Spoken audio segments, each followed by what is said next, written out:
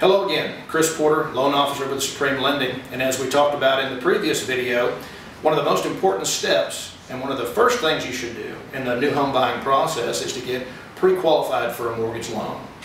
Not only will this benefit you in establishing a budget, but it'll also assist you and your agent by having a pre-qualification letter that can be submitted with any offers on homes that you might make. There are three very easy ways uh, to start this process. The process starts with an application.